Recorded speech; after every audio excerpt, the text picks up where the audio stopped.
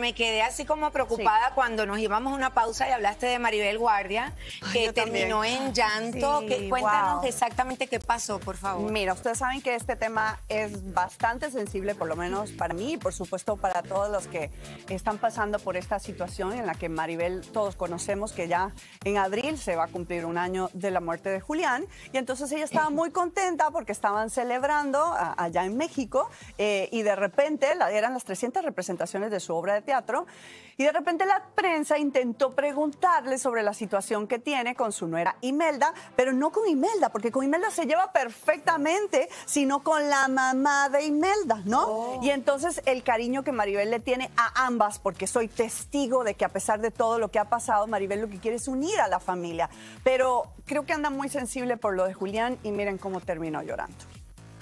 tremenda que la quieres como una hija y que final parece que su mami no, no logra entender que, que tiene dos madres, que no nada más tiene una.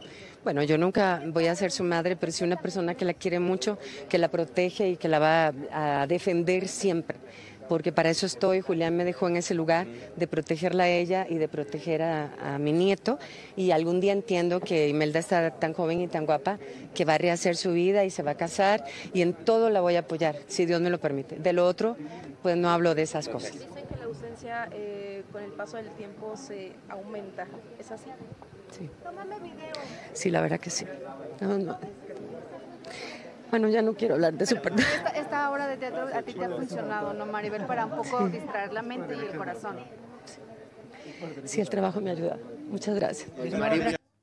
Y ella, ella se ha mostrado tan fuerte, en una fuerte. situación tan difícil, pero es que Yo lo que siento, hay momentos que te quiebras, sí, ¿no? yo lo que siento que Maribel no ha tenido ese espacio No se ha dado para su duelo, creo yo. Aunque bueno, yo también viví algo muy cerca con mi madre cuando perdí a mi hermano y sí está muy cañón. Está muy cañón perder a un Y ella hijo. pues está obviamente aferrada Sí. a Imelda, Sí. al niño, Al eso le niño. da tranquilidad, me imagino. A Imelda, pero dicen que conforme pasan los meses, es, es lo que por lo menos lo que ella me explica, en lugar de encontrar una paz, una tranquilidad, una aceptación, es todo lo contrario. Contrario. Dice que hay más dolor, lo extraña más, Ay, sí. lo siente más, le, le pasan más cosas por la mente por la ausencia, porque ya se está dando cuenta que no no está. está, Entonces ha sido como muy duro para ella y ella está tratando de salir adelante. Entonces yo creo que lo más cruel que podemos hacer es molestarla en este momento. Bueno, eso es lo que yo iba a mencionar también. Mira, uno es mi- miembro de la prensa, uno quiere hacer preguntas importantes,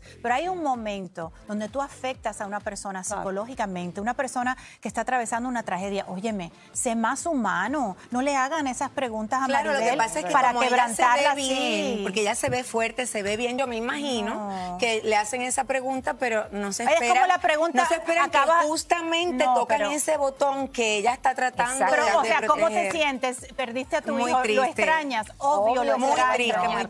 triste, la verdad que sí.